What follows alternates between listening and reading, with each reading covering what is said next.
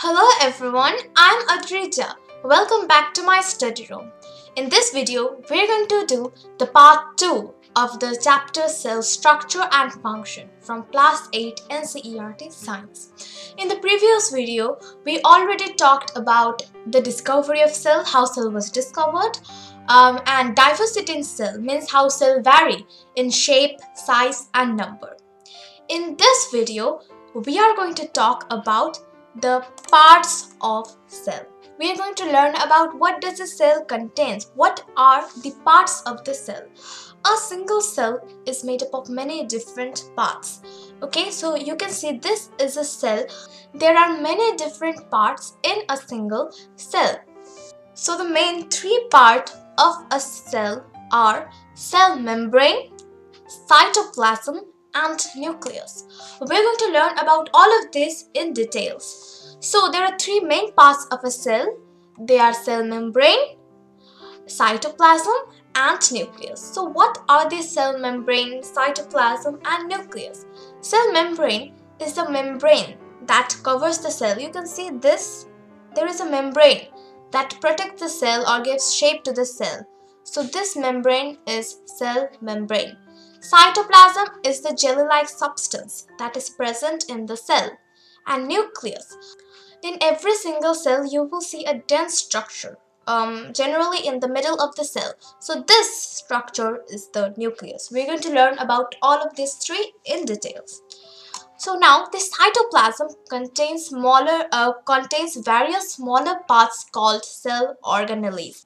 So, like a human body is made up of many different type of organs, right? In the same way, a single cell is made up of different organelles. What are they known as? They are known as cell organelles. These are the organelles. Mitochondria. This is an example of an organelle. Mitochondria. Ribosomes. Plastids. Here you can see endoplasmic reticulum. We're going to learn about this afterwards. So these are the organelles, means the organs of the cell are organelles. So the cytoplasm contains various smaller parts called cell organelles. So these are the parts of cell which now we're going to learn about in details. Okay. Example, mitochondria, ribosome, plastids, etc. There are a lot of organelles, we're going to learn about them.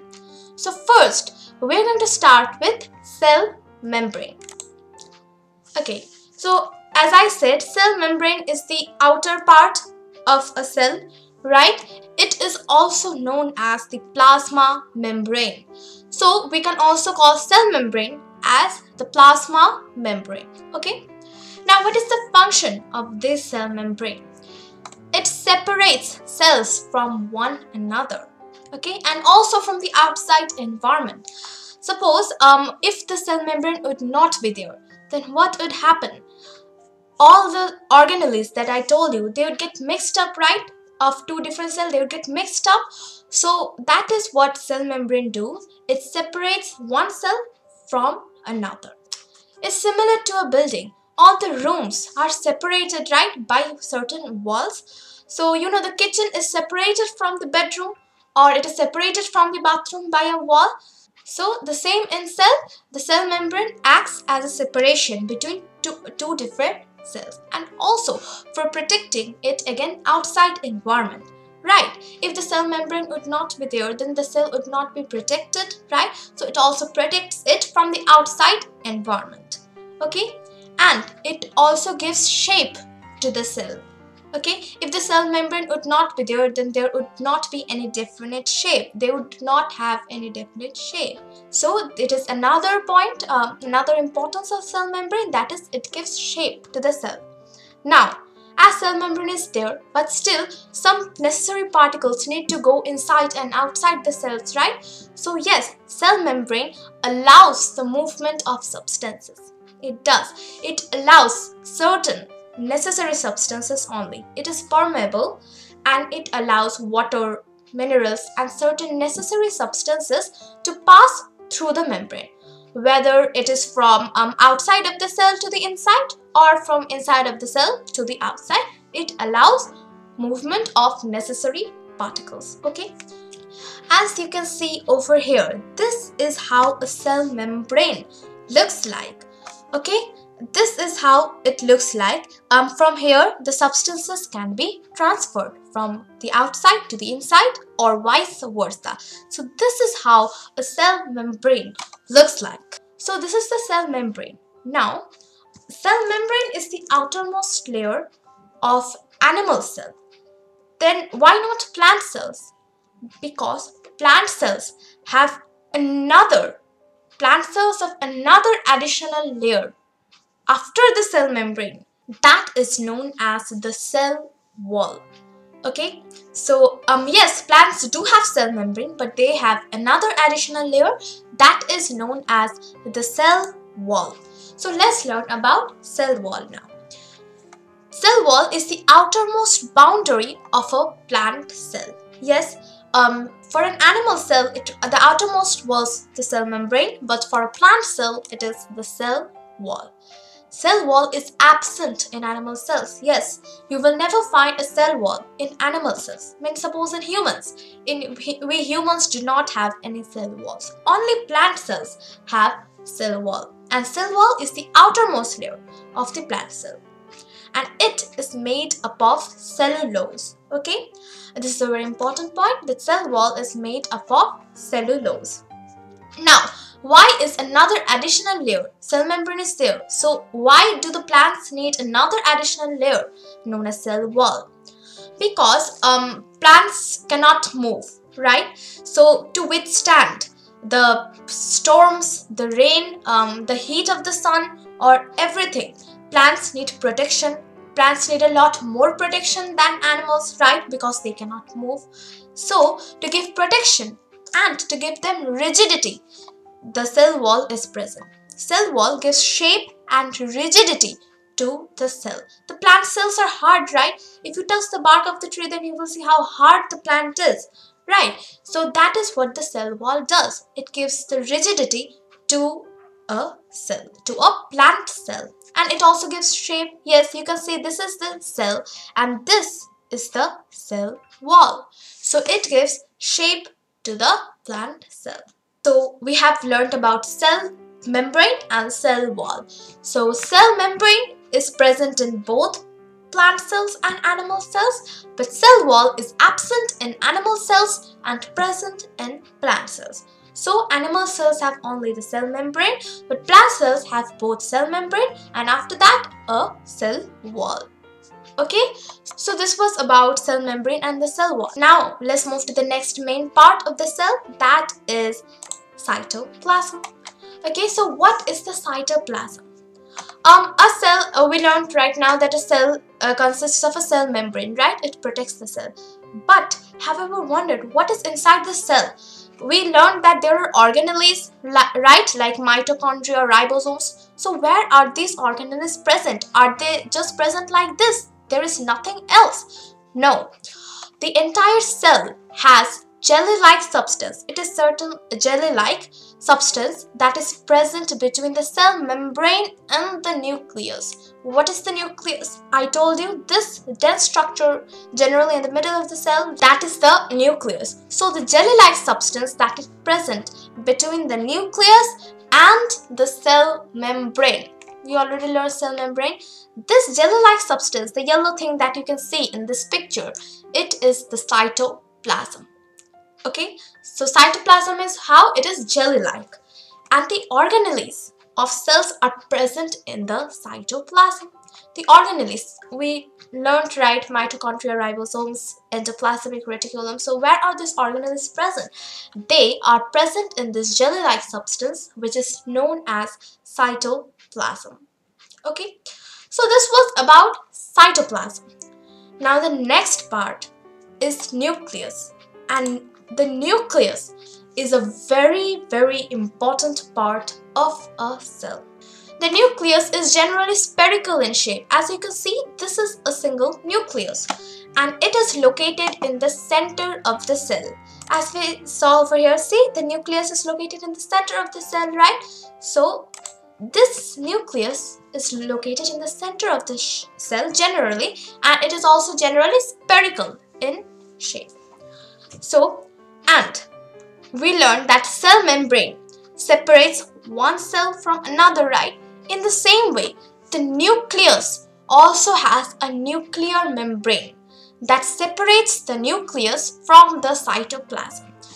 You can see in this picture, this is the nucleus and this is the cytoplasm. So this nucleus is separated from the cytoplasm by a membrane known as nuclear membrane. This is the nuclear membrane. Okay, you can see nuclear membrane. So in the same way as cell has a cell membrane, a nucleus has a nuclear membrane. And there is another part of a nucleus that is the nucleolus. What is nucleolus? In a nucleus, you will see a spherical dense body inside the nucleus. Okay, this is the nucleus and over here there is a spherical body. That body is known as the nucleolus. Like nucleus is present in the center of the cell, right? In the same way, nucleolus is present in the center of the nucleus. Okay, so we learned about nuclear membrane and we learned about nucleolus. Okay, and this nucleus is spherical in shape. Okay, it is spherical in shape.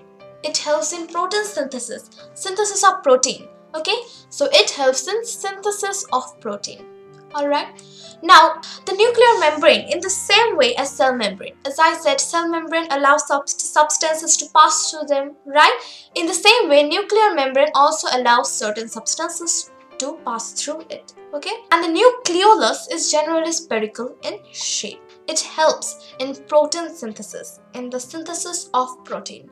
And this nucleolus, if you see it through a microscope with higher magnification, then you will be able to see a nucleolus in the microscope okay now what is the importance of the nucleus nucleus is the control center of the cell. It controls all the activities going on in the cell.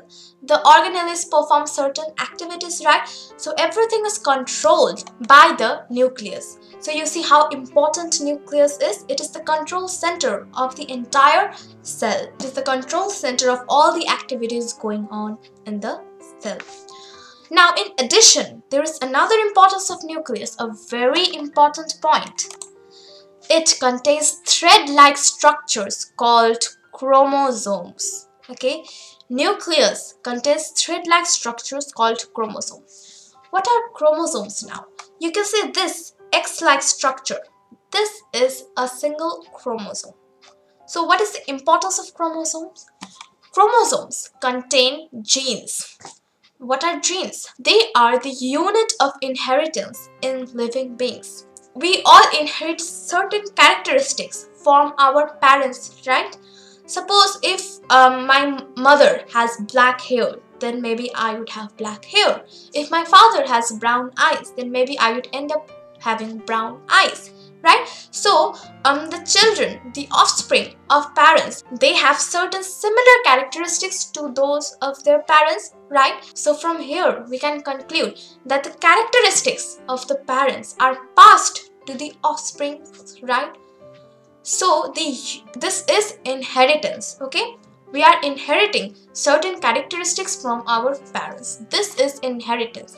And the unit of inheritance means how the characteristics are passed from the parent to the offspring the unit of inheritance in living beings is gene okay through these genes the characteristics are passed on from parents to the offspring now these these chromosomes that are present in the nucleus, they contain these genes in the form of DNA.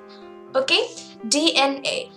The full form of DNA is deoxyribonucleic acid. Okay, the full form is deoxyribonucleic acid. Okay, DNA. So these chromosomes contain these genes in the form of DNA. And what are these genes? These are the units of inheritance, right? Of hereditary inheritance. So these genes are responsible for the transfer of characters from the parents to the offspring. As I told you, these genes are responsible for the transfer of certain characters from the parents to the offspring. These chromosomes contain these genes and the nucleus has these chromosomes and these chromosomes are thread-like structure okay they are thread-like structure now if you see in this photo see over here this is the cell right this is the cell and in this cell there is the nucleus this is the nucleus in the nucleus there are many chromosomes okay now this is a single chromosome this X-like structure is the chromosome. Now, these chromosomes contain genes in the form of DNA. What is the DNA? This is the DNA. DNA double helix. Okay, this is the DNA. And what are the genes? Over here, see, in the DNA, this green, blue, these are the genes. Okay, so this is how the nucleus or the chromosome contains these genes this is the chromosome and if you magnify a single part of the chromosome then you will see that there are there are DNAs over there and these DNAs contain certain genes okay so this is another importance of nucleus as nucleus contains these chromosomes and these chromosomes contain genes which is the unit of inheritance means they they are the, they are responsible for the transfer of characteristics from the parents to offspring so this is another important point of the nucleus. So this was the nucleus.